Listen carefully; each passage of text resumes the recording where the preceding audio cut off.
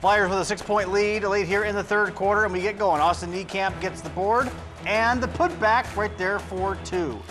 Then the Cardinals would respond. Aaron Tiemann gets the look and buries the triple there. Flyers answer back though. Luke Pullman puts up the three and knocks it down. Now Pullman, another good look.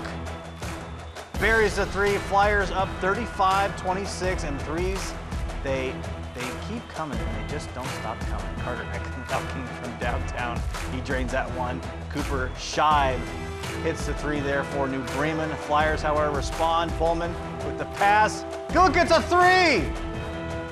Raining in the hangar tonight as Marion Local getting it done. 59-49. Full game on for you Saturday night, 8.30 over on WOSN.